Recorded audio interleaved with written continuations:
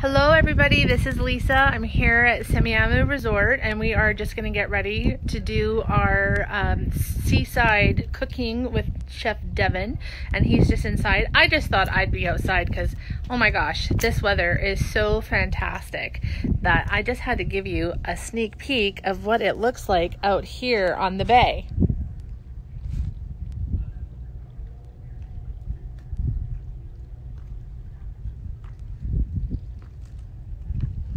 It's so beautiful and it's so quiet uh, and it's just so peaceful.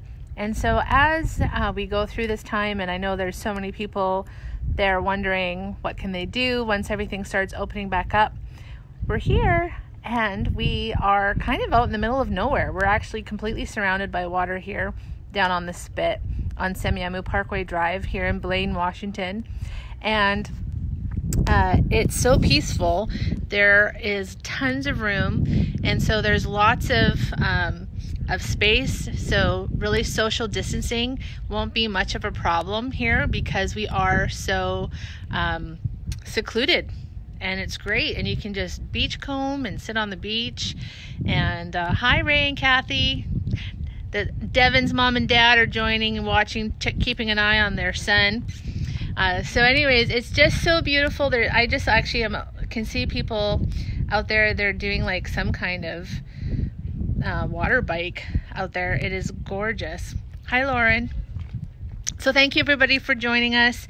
Um, we're going to do our cooking demo today with uh, Nerka Salmon, and uh, please go check them out on Facebook. Uh, they are taking orders. They're just local Whatcom County um, company, and it would be fantastic. You know, support local. Devin and I have been saying that for years. When I had my own place up in Surrey, British Columbia, I said back then, local, local, local. It is so important to support local. And uh, now we're really seeing just how important and valuable that is. All right, so I'm going to go inside here and we're going to start cooking with Devin because I know you're not here to watch me, you're here to watch Devin, and I don't blame you. He's probably one of the most talented chefs that I have ever worked with, and I've worked with a few. And uh, I don't just say that to, you know, kiss up. He really does he really does some amazing, amazing food. So just gonna walk back over here. And your mom and dad are watching. Oh, of course. hi, mom. Hi, dad. well, welcome back. We're doing another of our uh, seaside cooking here classes here at Semiahmoo. Um, so today we're going to focus and feature Nerka salmon which is uh, from our friends at uh, Telly and Joel from Nerka Flash Frozen Sea Frozen Salmon. Um, if you're interested in trying to buy some of it, uh, they are doing sales, or they were doing sales um, directly through Facebook. So if you go on their Facebook site, that's Nerka N E R K A.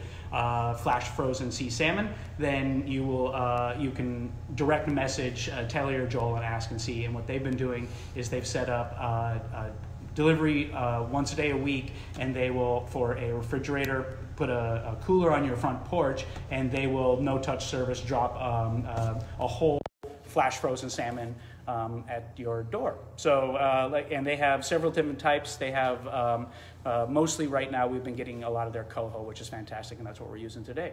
Uh, the other item that we're going to feature are sunchokes. Uh, not sure Jerusalem artichokes. Not sure how many people are familiar with it, but it is one of my favorite uh, kind of unique produce items to work with. So um, right here we have some of our fresh grown sunchokes, and they're knobby a little dirty. They uh, are tubers, so they grow in the ground. Um, these are really uh, very nice and clean. Um, so what we do with these is uh, I, I do several different uh, ways. I'll roast them, I'll make them into puree, and then I also uh, um, have done soups with them and stuff like that too. But we'll uh, I, I shave them really finely, uh, deep fry them, make little crisps as well. Oh, that's um, so good. The last the last part of our dish that we're gonna make is a beurre rouge, and it's a white or it's a red wine butter sauce. So same thing as a beurre blanc, just using red wine. Uh, but that beurre rouge is a very typical accompaniment to a wine dinner. It allows me to use that wine within the dish. So anytime I'm doing a wine dinner, I'm either thinking about how to pair with that wine very specifically, or I'm looking at how to enhance that wine. So pairing is typically something that uh, the, the flavors work well and benefit and kind of contrast and complement each other. Um, to really uh, pair well is to bring out extra notes in the, uh, in the food and in the wine. And so with this, we're using, uh, we're going back to Ponzi again from yesterday. Uh, we're using one of their Pinot Noirs. Um, so typically, uh, Blancs are made with white wine. You can use a Sauvignon Blanc. I like to use a drier white wines. Pinot Grigios work well. If you're looking to do something and pair it with something sweeter, then a Chardonnay, Roussanne, or Marsanne would be nice as well. Um, they have a little bit more of an oakiness to them. Uh, since they've been aged, they don't have the dry um, acidity that others do. Uh, but along with this recipe, which we'll post online uh, for the sunchoke puree as well as the Beurre Blanc, along with this uh, recipe, I'll show you how to reduce it, and we add a little vinegar as well to kind of give it a kick. Um, but yeah, so we're going to start with uh, um, our sunchokes here.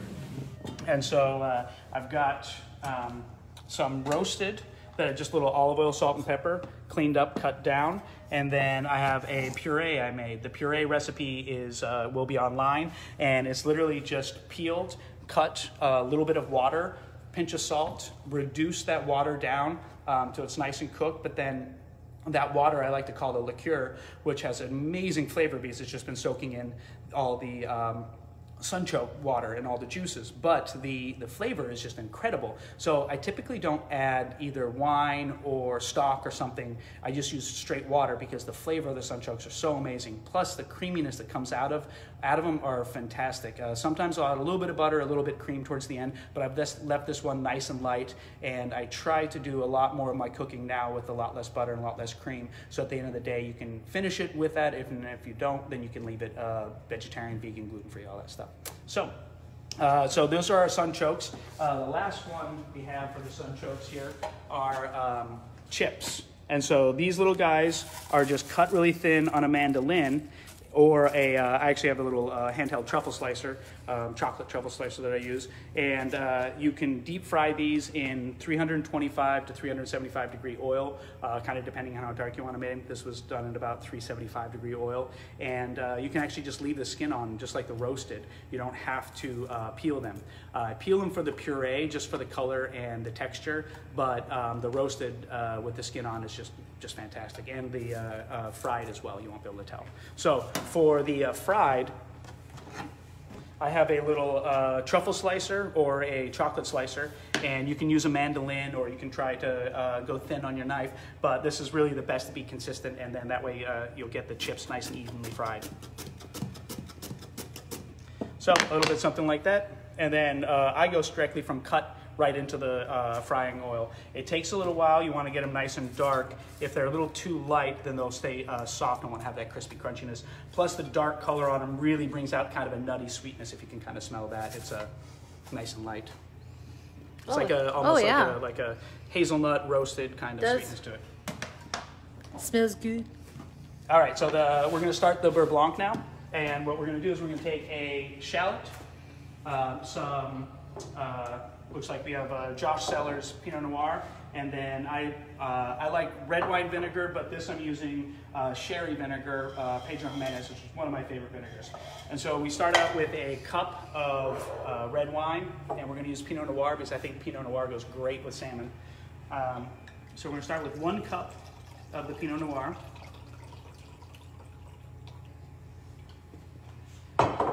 That goes in our so, Chef, somebody um, emailed me and asked me about our um, pans that we're using and asked why aren't we using a stainless steel pan?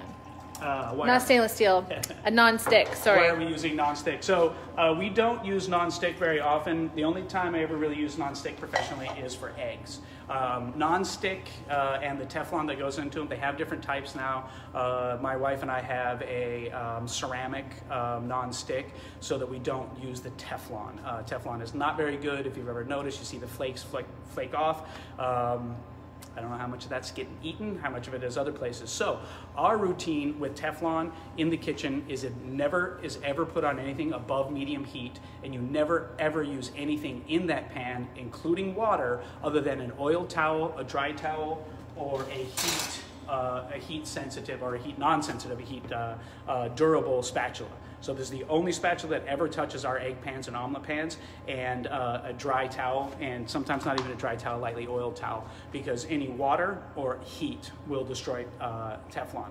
So I've had an eight-inch, um, you know, Teflon pan that we use for our eggs and uh, heavy, high-duty Teflon too, so that it stays and it's a high pressure. The more you spend, you know, you can buy them for ten dollars, you can buy them for fifty dollars. The fifty-dollar ones are going to last. Um, you, you, I've had those that I can last for six months to a year. I've also seen them ruined less than a week. So uh, really, if you're going to do that, try to not use any type of too much heat. Um, always lower heat. Never any wood is even too hard. No, nothing too hard in those Teflon pans. You'll get tremendous amount of life out of them. Always just wipe them out with a dry towel. You can clean off the outside, uh, the under underneath, and everything like that with a soapy rag. But I wouldn't suggest anything else. So, So no dishwasher? no dishwasher. Definitely not too high of temperature of heat. So. Oops. Uh, so uh, I did put in a half a cup of the Pedro Ximénez sherry vinegar as well. So right here we've got a uh, cup of uh, the wine, the Pinot Noir, and then a half uh, half a cup of the sherry vinegar. I'm going to crank up the heat. We're going to get that going. Then I'm also going to dice um, our shallot here. So about a tablespoon of shallot. So I'm not going to use this whole entire shallot. Shallots are my favorite. I love to cook with shallots over an onion. Oh yeah, definitely. They have a uh, um, a little bit more of a sweet uh, flavor to them, and so when they cook down, they have a little bit more sugar. I always say that they're similar to a uh, sweet onion, Italian sweet or Walla Walla or something like that, just because of the sugar content that they have. Um, a lot of recipes for a beurre blanc will actually call for um, for sugar because that sugar has a small amount of protein that will allow it to emulsify the butter into it better. But uh, if you use a shallot or something else, you'll get enough sweetness out of it.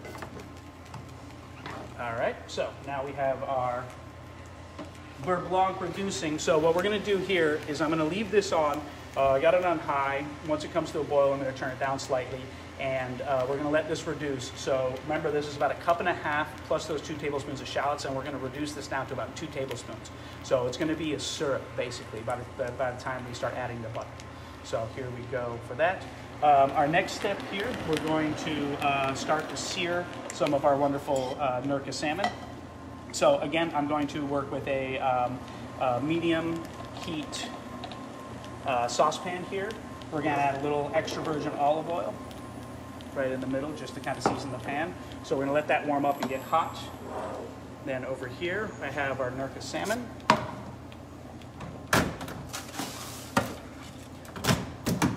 Now one of the keys with searing salmon, especially with skin on, is you really want that skin dry. So I'm going to dry it even extra with a nice dry towel.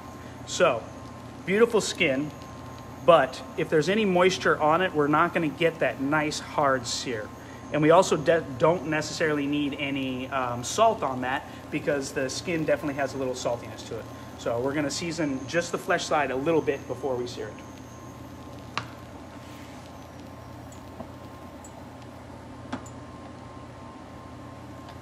turn up the heat and get us started. Um, we're using a little extra virgin olive oil. Uh, that's just uh, what I typically cook with at home and everywhere else. Uh, um, lighter versions of extra virgin is what I use for heating and oils, and then darker, greener versions is what I use for salads. So. I used to have a bakery and I did a lot of retail and I so I learned a lot about olive oils. So if you're buying an olive oil and it's yellow, it's not pure. That means it's been mixed with most likely a canola or a sunflower oil. So you definitely want to make sure that you're buying really good quality olive oil.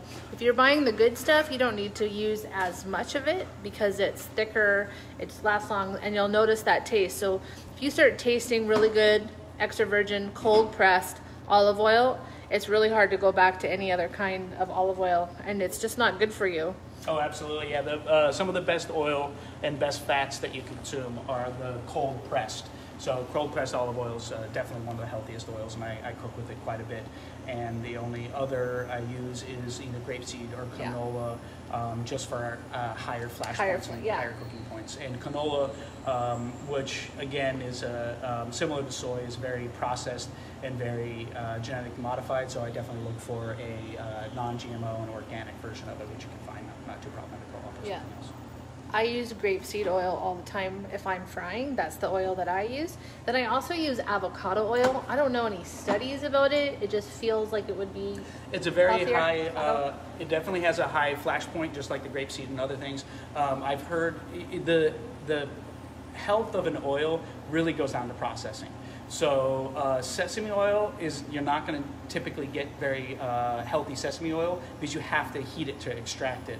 Uh, olive oil, uh, avocado, the other ones they can be processed 100% cold. Those are the best. Any heat, any kind of even friction, uh, heat that uh, comes from friction, even that will start to destroy and break down. Uh, it's the difference between saturated, polyunsaturated, monounsaturated, and really what you want is that wholer fat that hasn't been broken down and hasn't been processed and hasn't been denatured. And so that's what you want is that wholer. Uh, you know, the better you can do. So yeah, colder pressed, and I have seen cold pressed avocado oil uh, for sure. So. Yeah. All right, so here we are. We're uh, we're looking pretty good on our reduction, but we got a ways to go. So our salmon here is ready to go in the pan. Oil is nice and hot. I'm gonna start with the skin side down because I want to get that nice and crispy. Start with a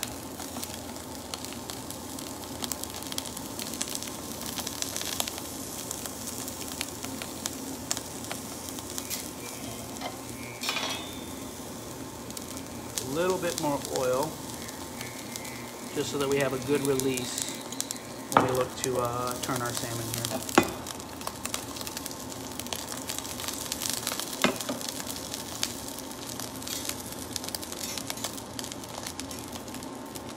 All right, back to our Beurre Rouge.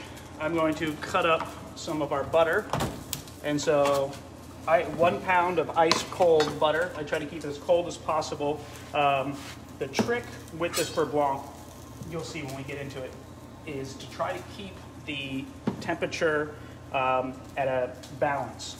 So you add too much of this butter, ice cold butter, too quickly, you're going to drop the temperature and it's going to freeze and it's going to seize on you and not freeze, but uh, get cold enough that to the point that it's going to break. And breaking is a separation of the emulsification of the oil and the water, so you do not want it to break. Uh, it'll make the sauce uh, oily and just unattractive. It doesn't have that creamy, silky smoothness and uh, that and flavor and texture. It will definitely have an oily kind of broken uh, texture to it. So we're going to uh, cube this up so that when we get close, it looks like our salmon. Take a look here.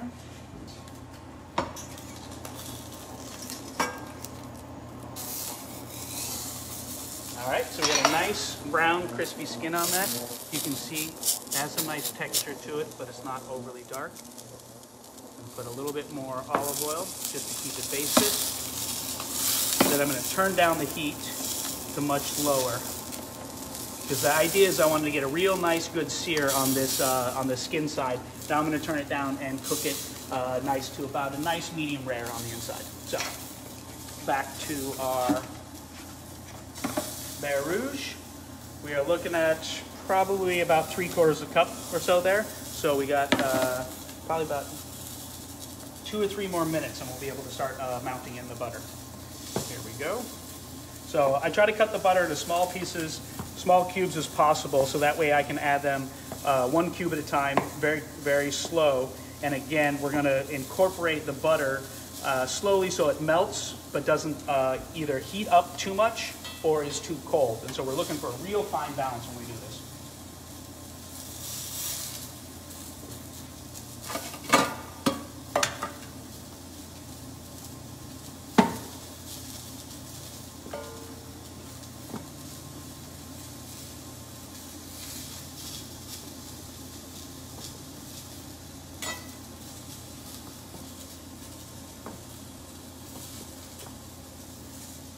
Thank you everybody for joining us and watching us today. We're here at Semiahmoo in Packers and uh, Chef Devin is doing one of our Semiahmoo seaside cooking demos and he is making a Nerka salmon with a bur- With a uh, Beurre Rouge, Beurre Rouge. a uh, Ponzi Pinot Noir Beurre Rouge, and uh, local sunchokes three ways. I am paying attention, I swear, I swear. Um, so, anyways, we are. Thank you uh, for joining us, and we're really happy um, that you guys have. And if you guys have any questions, I'm watching for comments. So if you have any questions in live time, uh, I can ask um, Chef because obviously you don't want to ask me. And uh, yeah, we can answer them for you here. All right, so here we are. I'm gonna turn our Beurre Rouge down to low. Turn about five there. Four. Right, Beurre Blanc is Beurre Blanc is white. white wine, Beurre Rouge is red. Exactly, the only difference. So here we are at about, uh, I'd say about three tablespoons, but you have to consider that one of those tablespoons is the shallots. So if we go like this, we get it over there, and we can see what is uh, coming up as far as the wine goes. We're at about, um, we're at about two tablespoons. So this, at this point, is when I'm gonna start to add the butter. Now again, I want a little bit of heat. I don't want it completely off, but I don't want it high because I don't want it to boil and uh, break the butter. I've just turned the salmon off because we're looking pretty good. And if you can see, that's our doneness throughout the middle. And so this is also gonna have a little carryover, so I'm gonna let it set, but I'm gonna flip it back over you get a little more crisp on that skin side as well.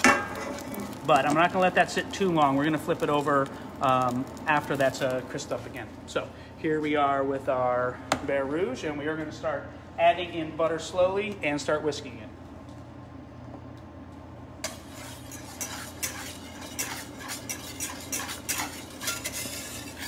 And like a lot of things in the kitchen, a nice tedious project. You cannot rush this. If you rush it too much, you'll break it. If you put in too much of the butter, it'll seize and become a paste and then eventually break. So what I try to do is I try to get almost the entire addition of butter melted before I add the next round. So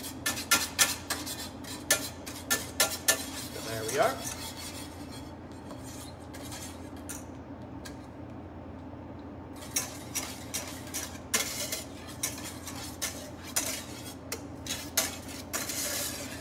Start to see the colors lightening, It's getting a little glossier. So somebody is just asking, uh, Kristen, she is saying, thank you, chef. I've always wondered how to make beurre without breaking it. It seems like mine breaks after cooking while serving. I'm assuming it must be served immediately, or is it my technique while cooking? Um, it could be either one, but it most likely is your uh, um, uh, service. And so you want to keep it at uh, warmer than room temperature, but you don't want to go too hot. And so you really, the ideal would probably be around 90 to 100 degrees that it was sitting at. Um, so where we keep it online a lot of times for food service is we'll keep it uh, near a stove or above a stove so it's getting some of the residual heat, but you don't want to go too close. The other thing is, is that if you, uh, during your incorporation of the butter, if you don't get a nice strong emulsification, then it will break on you as well. And so the, uh, no matter how tight and how, uh, and how, um, or no matter how you store it and how well you keep it, it still has the opportunity to break. Now, in restaurants, we will make this sauce and serve it for the rest of the evening, and so there is the potentiality to hold it. Um, at times, I have put in like a touch of cream, other stuff, but if you do this right, it's a pretty solid emulsion, and you won't you won't worry about you won't worry about uh, breaking it. So. But if you You're notice, welcome. this is a. Uh, if you notice, I did all the work. this is a uh, pound of butter, so this is going to take a while to incorporate. That's another reason why we have the uh, temperature on. Let me turn it up a little bit. Because we want to maintain a nice warm temperature as well in this pan. So if I add too much of this butter too quickly, it's going to drop that temperature. It's going to thicken up like a paste, and then it's going to break eventually again. And so you want somewhere in between. You want that uh, light heat, but you don't want too much. If I were to bring this to a boil right now over medium heat, it would break very quickly on us. So.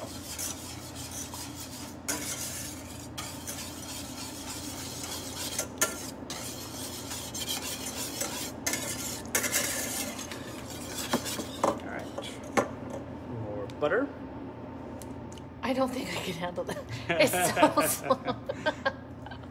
It is easier to make this in um, a medium-sized batch. It's really hard to make a beurre blanc for just a couple people, and it's also really hard to make beurre blanc for a couple hundred. So um, it's a it's a great sauce, and it can hold for a decent amount of time, but it is very tricky, and it is uh, um, it is kind of a, a nuanced sauce. So it does take knowledge and kind of the feel of having done it before to really be able to incorporate everything really well.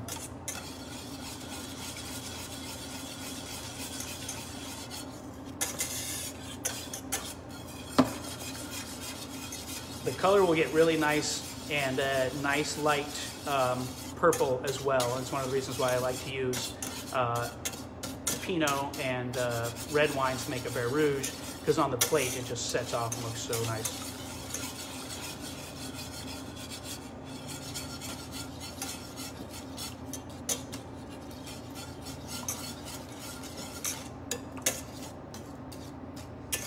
Thank you for that question. That was actually a fantastic question. If you guys have any more questions, feel free to ask.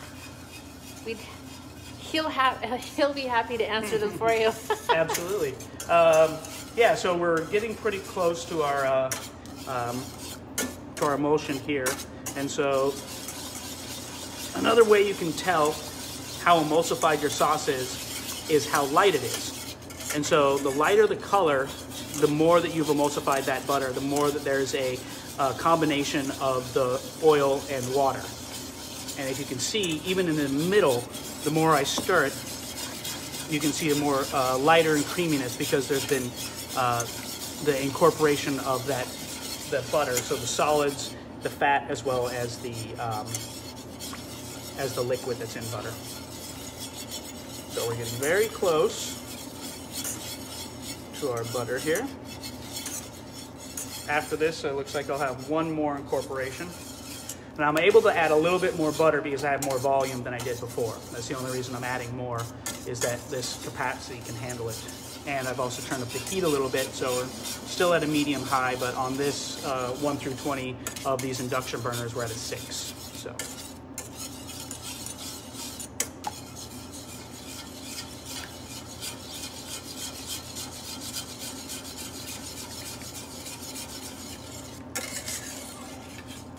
All right, close. One more addition.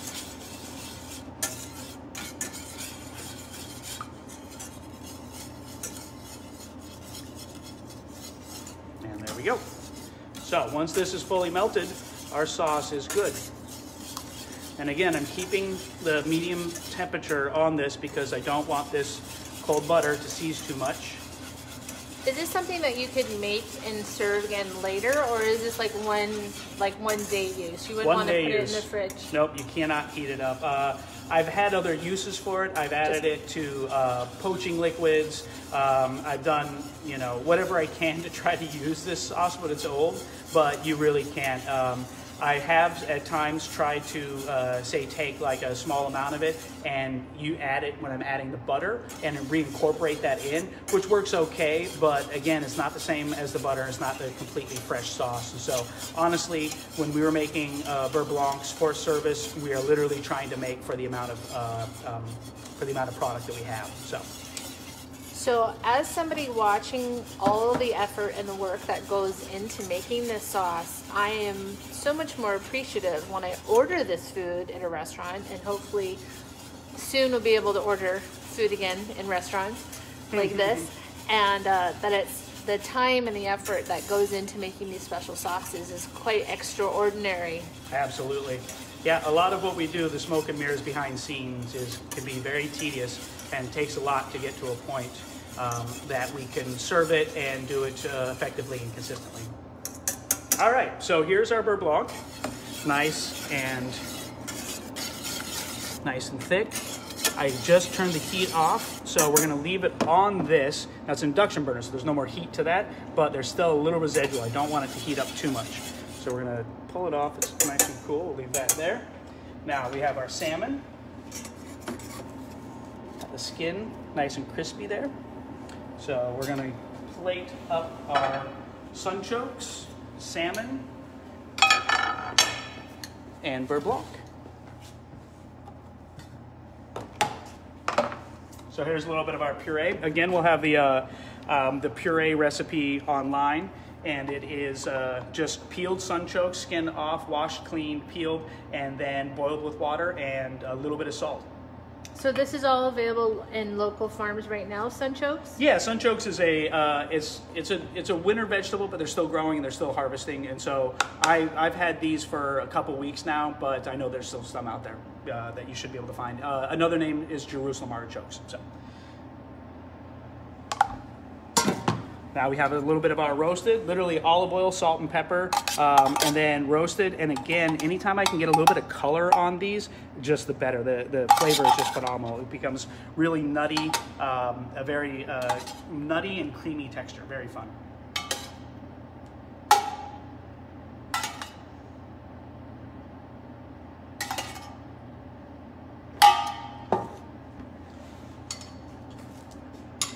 All right, beautiful piece of Nerka salmon. There we are. So traditionally, a lot of restaurants that are serving salmon, at least a, a good restaurant, is going to serve your salmon a little bit more on the medium to rare side. Um, so if you don't like medium rare, it's important to know that, and then just make sure you tell you like it cooked a little bit more. But if you really want to enjoy a great piece of salmon, try it medium rare. Oh, absolutely. It's it's the way to go. medium rare. It depends, you know, that's another one where steak and other things like that. It really depends on what your preference is. Uh, but if you, you know, if you really like the fresh texture of salmon, then, you know, raw sushi can't beat it. And obviously a nice pan seared with a, a crispy skin is you know, just as good. So here we are with a little bit of the beurre blanc. Now again, I wouldn't put this directly on the skin uh, when I'm plating because I don't want to uh, soften that skin. So if it's a wine dinner or something else and we're walking this out to the table immediately, then, uh, then absolutely. But with this, I want to try to maintain that we have a crispy skin on it. And then I'm just going to use a little bit of our um, crispy sunchokes for a garnish here.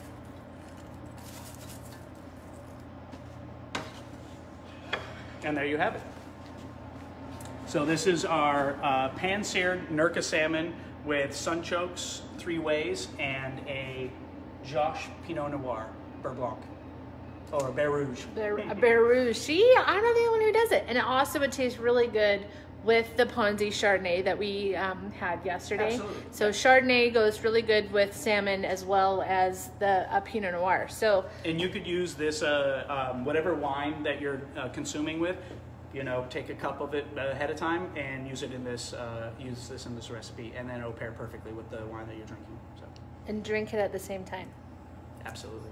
So we did put on the Facebook page um, a list of the Ponzi wines. So I'm actually going to be selling them by the case, only by the case right now. So if you um, email me, uh, the email address is on the Facebook page, and you can um, order it by Monday, the end of day, Monday on the 20th. It'll be here for curbside pickup at Semiahmoo Resort um, next Friday on the 24th. So make sure you get um, yourself some of these wines. It's great. The classical Pinot Noir is my personal favorite. It's absolutely delicious. Totally worth it. You won't you won't regret it. Cause you know what? We're inside drinking wine. It might as well be good wine. I know you told you to drink the box yesterday, but don't drink the box. drink the good stuff Not every day. Not every day, right? I mean, I know we're all watching our budgets, so so thank you guys so much for joining us. Thank you. Have a good day. Yep. Bye.